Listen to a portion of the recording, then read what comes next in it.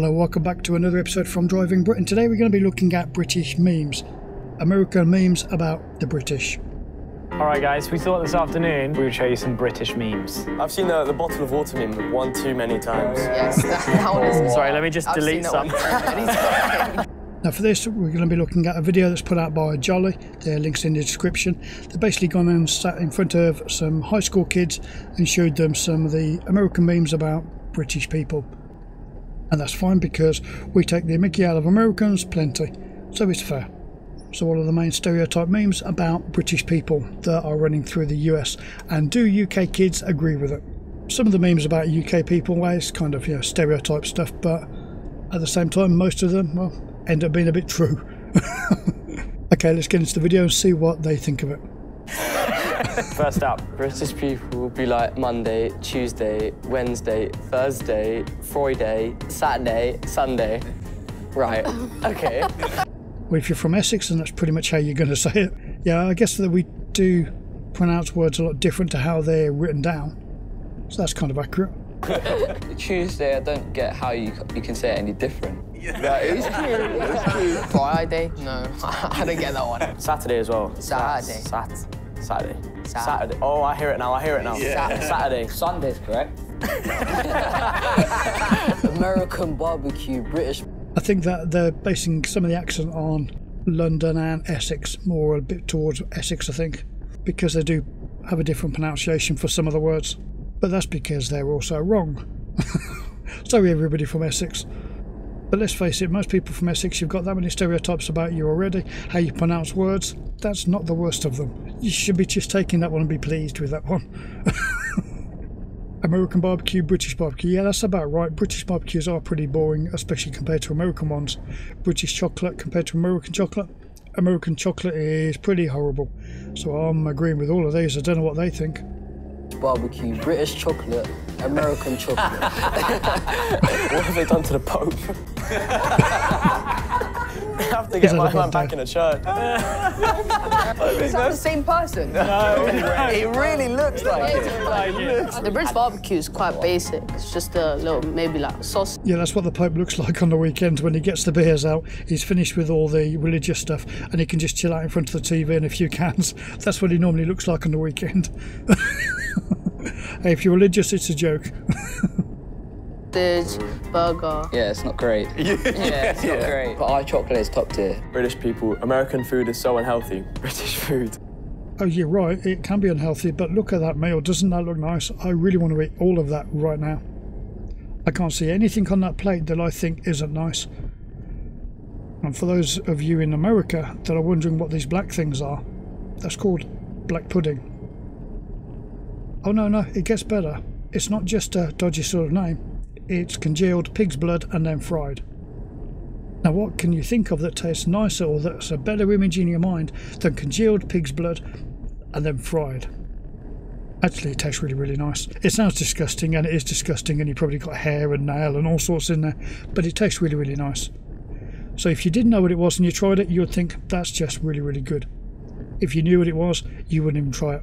As for all of this other stuff, come on, let's face it, you want to eat that now, don't you? Unless, of course, you're vegetarian or vegan, in which case you're sending hate messages through the comment section right now. But don't worry, there is some bread. Okay, before we offend any more people, let's move on. But that's delicious. They, they serve that for our, I don't they care. serve that for our breakfast club at school. Now that is beautiful. you can't get better than that. That's just the definition of English. And with a cup of tea, Yeah, I take the mickey out of Americans now and again on these different videos because of the different food combinations that they make. Things like southern fried chicken mixed with ice cream and all sorts of bizarre stuff. But I guess what you're really doing is you're adding all of the foods that you like together to make just nice things. Well, that's pretty much the British, the English breakfast. All of the things that we like, all on one big plate. Now that is a very, very big plate. You know, nobody's going to eat all of that. Yeah. What do you think about how unhealthy an English breakfast is? I don't really think about it. I just want to eat all of it. I don't care if that's bad for you. That's I had that- that, for that's breakfast. peak Actually, English food. I had that for breakfast this morning. British cuisine, best in What the is world. that? That's rank. No, that mashed potato, that just looks nasty. Doesn't look like proper nice creamy mash. The gravy just looks like water, and that is not a sausage. That's not even a frankfurter. That's, I'm not even sure what that's supposed to be. But proper actual sausages, either shallow fried or even oven baked, with proper creamy mash and then a nice beefy flavoured gravy. That's nice. That thing that they've got on that image, that's that's what Americans made, thinking it looks like a British version, but that's because you haven't tried the real, proper, decent tasting British version, and that's the lie that we're going to stick with. now, that one does look disgusting, but proper sausage mash gravy, that is nice.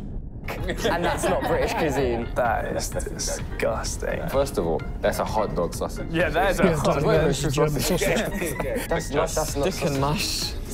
They've already got enough problems with the Royals being German. We don't want the sausages to be German as well. Fish and chips, sausage and mash. Oh, they're fighting. So you're saying this picture right here is number two? Well, not with hot dogs, yeah, actual sausage, like, yeah. Good lord. British food. Welcome to Britain. Okay, all right. All six of my brain cells are assembling so I can pronounce. I don't even know what that says. what is that? Yeah, Worcestershire is one of the more difficult words, I guess, because it, it just doesn't sound anything like what it looks. And there are a lot of words in English that are pronounced a lot different to how they're written down. And that's one of the reasons why English is such a complicated language, is because there's so many unnecessary letters in all of our words. And it is stupid, and I think that we should write words how they sound. I think they should be phonetically spelt, except for the word phonetically, because it just sounds way too complicated. It is a pretty hard word to pronounce, to be fair. Worcestershire? Worcestershire? How do you... I'm English and I don't even know. Break it down, you've got war, then you've got Does that mean that they've never had Worcestershire sauce? then you got Ayrshire, Worcestershire. It's actually pronounced Worcestershire. It's like Leicester. Leicester. No, I can spell Leicester because of Leicester Square, yeah. Do you know how Leicester Yeah, but Leicester's another word that's spelt completely different to how it sounds. And there's just no reason for it. I don't know why we have such a complicated language, why there's so many unnecessary letters in so many of our words. The Square spelled? Yeah, L E I C. you got it wrong. We just say Worcester, don't we? Mm-hmm. With the sauce, you mean? Worcester sauce. But does it say Worcestershire on the bottles?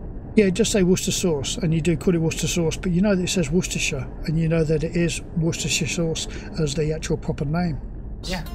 But we just call it Worcester sauce. Poor, that's poor from us. do British people still do th- what accent? We still do the accent when nobody's around because we, we are the accent. It is the accent. It is the accent. We can't get rid. I think they mean like, oh, tea and crumpets. So, yeah. Can you guys do a good? Yeah, I don't suppose we really have much variety in our accent for people that are watching our videos in the US, because I suppose we sound pretty much the same across the country. But if you listen to somebody from, say, Doncaster or from Liverpool versus somebody from London or someone from Cornwall or someone from Essex or Scotland or Wales or Ireland, you've got completely different accents. And it's just the same as the US. If you've got the US and you shrunk it right down to be the same size as the UK, but you kept all of the states, you think how much variety there is between different states with the different accents. Then the UK is exactly the same, it's just a, a very small version of it. All of your different areas still have all of the different accents. But the accent that you get to hear on American TV of British people is always is kind of an estuary English accent, so it's not really a London accent, it's not really a Midlands accent, it's somewhere in the middle. It's not quite Oxfordshire, it's just somewhere in the middle. American accent? I think I can. Do you want to read that meme in an American accent? Do British people still do the accent when nobody's around? Do British people still do the accent when nobody's around? Do British people still do the accent when nobody's around? See that? See that? That was beautiful. That was pretty good. Normally, people just go for the complete caricature. Full cowboy. The British people still do the accent when nobody's around. I think he's been watching a few Harriet more is cartoons. adjusting great to America. Every time I ask for a biscuit, they give me a scone. so to them, a biscuit's a scone. Do you want me to show you what an American biscuit is? It does look like a skull. a biscuit. American biscuits, they are pretty much exactly like they're saying. It does look like a scone and it tastes like a scone. It's just a sweet bread. It has nothing to do with biscuits at all. Not as you would know a biscuit in the UK. UK biscuits, they're kind of yeah more like what the Americans would call a cookie. But it gets worse because Americans then also pour white gravy onto it. Now their white gravy is like a sausage gravy, lumpy stuff. It tastes really nice, but it looks absolutely disgusting. That is not a biscuit. That's not a biscuit. What? How do we eat things that look like that in England? Probably cut it in half, or maybe. Cut in half, have it with jam and cream. Jam, yeah. In America, they have those with gravy. Oh, I thought, I thought we were. Oh, I thought we were having gravy with everything. How can you have a gravy with a biscuit? You see, we treat them as cakes. We have them as a pudding. So we would have cream on there, we'd have jam on there and stuff like that. What you wouldn't do is make it part of your main meal because yeah, it is kind of bready, pastry type stuff, but it's just not. Not like that. It's a cake. And what we wouldn't do is stick that weird white lumpy sauce with it, which just tastes nice, sure, but it just doesn't look nice. Biscuits and gravy looks like that. That's worse. That's worse. that is actually disgusting. Mm. You know, to us that looks like you've eaten it and then, well, reproduced it, let's say. it just doesn't look good. What is it? This doesn't- that's not gravy. Yeah. What is this snack? Biscuits and gravy. The way they describe it sounds a lot nicer than that. In England, booster shot is spelled. Oh god, not one of these booster shots. Borchester shot. shot. Borchester shot. Booster. Oh. yes, English can be weird. It can be understood through tough, thorough thoughts, though. A bit of a pickle. Translation a catastrophically bad situation with potentially fatal consequences. Uh, a bit of a pickle. Yeah, I guess we do kind of downplay stuff. We would be a lot more blasé about it. Very, very serious situations, and we just kind of, yeah, that's that's quite bad. We should probably do something about that, rather than getting in a bit of a flap about it. Well, yeah, it's not, not good when you hear that. okay, That's a bad sign. The thing is, everyone in Britain understands it. Yeah. It's like a code. Yeah, could do. Translation no. Accurate. Accurate. Yeah, but it's kind of a polite no, though, isn't it? You kind of you're not completely writing off the fact that you're never going to do it, but at the same time, you're letting people know that you really don't want to do it. I've done that. It's like I've done that. I've done that. I'll see how I feel. I don't want to do it. Can't be asked. Translation I won't be coming, and Yeah, we both exactly. know that. It's a community. Everyone. Yeah, that's true. Yeah, but again, it's just about politeness. You don't want to outright say to somebody, "I'm not doing that. I really can't be bothered." But you don't want to be quite that blunt with your friend. So you say, "Yeah, I'll see how I feel." But really, it does mean not a chance. I'm not going to do that. I'm going to come up with any excuse I can think of so that I don't have to do that. Too polite for our own good. Everyone understands it. I always say that. That's when my friends That's are like, "Do you want to come out on Friday?" I'll see like, "Oh, I'll see. Maybe I'm, I'm, uh, maybe I might be a bit sick on Friday." Plus, it's also you don't want to commit to it. You, like he's saying there, yeah, oh, you're going to come out on Friday, you're going to come out on the weekend. You haven't got there yet. You don't know whether you're going to want to. You might come up with something better that you want to do, and you don't want to have already committed yourself to have to go out with your mates and stuff like that. If you've got a better offer, which sounds a bit cold and harsh, but you never know. You just don't like to commit to stuff in advance when you could come up with something better that you would prefer to do, which might just be you want to just sit down in your own room playing games rather than go out because you just can't be bothered, you're tired or whatever. So it's not just that you're going to get a better offer, it's just that you just might want to do something different. But that's a, a true stereotype. We are like that. But again, it just comes down to us being a little bit too polite for our own good, I guess. I'm planning to be a bit sick. Let me check my diary. Sure, oh yeah, no, I'm, I'm sick on Friday. I've used that a couple times. Oh, yeah, well, Americans, you kind of do that as well, though, don't you? Because when you take a job somewhere, you have to designate how many sick days you're going to have before you even start the job. So you'll get like 10 sick days or seven sick days that you're allocated for the year because you're somehow going to know how many days you're going to be off for during the entire year. so at least we're saying it as a funny thing. You've got it as a literal thing. Yeah, might have used that with you. yeah. Great. How a Brit responds to being the most deeply insulted they've ever been in their whole life. Bit harsh. Yeah, yeah, that is so true. that is so true. British. Yeah, I guess again it's just politeness, isn't it? We wouldn't really let on just how much we're kind of affected or annoyed or upset by whatever somebody said. We would just be a bit more casual and blasé about it. 'Cause that's a bit harsh, isn't it? British people could see the devil himself and they'd be like, hmm, odd bloke in it. That's you do. British people are It's very true, good at yeah. underplaying what's actually like you say. You I think the whole kind of stiff upper lip British type thing, it is true to quite a big extent. Seeing the devil and just saying a weird fella, I'm not so sure, maybe. we probably wouldn't come out with something that most other people would come out with, but see something that's beautiful, you say, oh, it's interesting. or see something that's totally like whack, you say, oh, it's interesting. Like, Why do you think we do that? because they're trying to be polite. So you be polite to the devil? Yeah. Yeah. fair. They put tea in microwaves. We mentioned this last time, but a lot of Americans, not all, but I'd say probably the majority of Americans don't have No kettles. kettles. But you can just buy one. You see, the reason why this is so confusing to people from the UK is because we use electric kettles which are really quick and efficient for boiling water. Not only that, nowadays you can get kettles where you press a button and it issues you just one cup of boiling water. And it does it within about, you know, eight or nine seconds. It's really, really good, really quick. But what we used to have to do is put kettles on top of our old gas stoves and then it would slowly come to the boil and the whistle would go off and all the rest of it. But that's what we used to be like in the 60s, and then we developed the electric kettle and we started to use that. So to realise that America are still using what we used 50 odd years ago, it seems really, really bizarre. But that's just because Americans don't really drink hot tea and coffee as much. You drink a lot of hot coffee, but you have dedicated coffee makers rather than a kettle to make like an instant coffee. Whereas in the UK, instant coffee is probably one of the biggest consumed coffees at home rather than a percolator type coffee.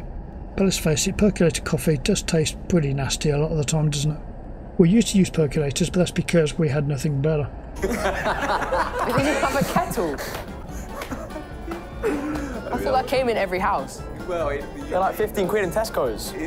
Less.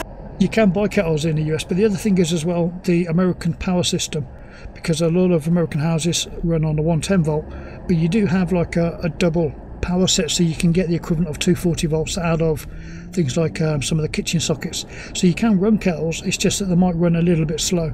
But in an older US house, then a kettle might trip it quite often. So you probably, especially for the amount of time that you're going to be using a kettle, you probably just wouldn't bother. But to us, that just seems really, really bizarre.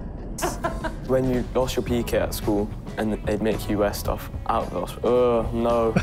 That's happened to me It before. smells. That happened to you, really? You open the door, it's like you have to like push in. It's like wafts of just kind of. It's disgusting.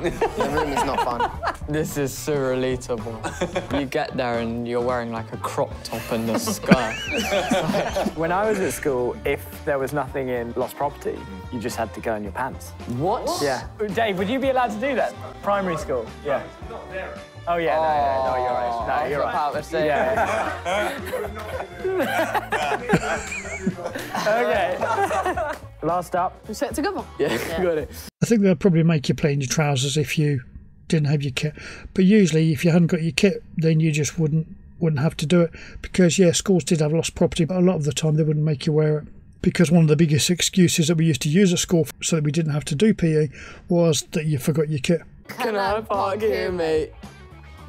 Yeah, man, sure. Oh, Yeah, man, sure is a real place. Yeah, apparently. Can I park here, mate? Oh, yeah, man, sure. Yeah, man, sure. It's been a little taste of uh, some British memes. Did it live down to your expectations? It's just funny because you're laughing with someone. Like, if I sat here alone laughing, then I'd be a bit sad, probably. Apologies to everyone watching this video alone. In Europe. you know, they're laughing with us. They're laughing all together. we'll, see you jolly soon. okay, they're obviously at the end of their video. There's some quite funny ones in there. Most of them seem to be pretty much true. 'Cause remember, we've got reasons for each one of them or excuses, whichever way around you want to look at it. But half it just comes down to us being a bit too polite, I think. Too polite, stiff upper lip, and playing down things. As for the language ones, yeah, I completely agree. I think that we've got one of the worst sets of, well, I'll say the worst sets of spelling in the world, but I don't know, some of the other languages are pretty horrific. Try writing your name in Chinese and see how that goes. or in Sanskrit or something like that. You're going to struggle. But for unnecessary letters in the words, they're yeah, we've got quite a lot of those. And in fact, quite a few American words are spelt different to the English version of the same word for that exact reason. Sometimes it works, sometimes it doesn't. What did you think about the memes? Do you think that they're true? If you're from the UK, do you think, yep, actually that fits me completely? If you're from another country, are those the same sort of things as what you think about the UK, about British people? Are they not just American memes, but are they also memes in your country about the British? Some of them are quite funny either way. Okay, if you enjoyed the video, give it a thumbs up, and if you haven't subscribed already, please do. Thank you for watching, we'll see you next time.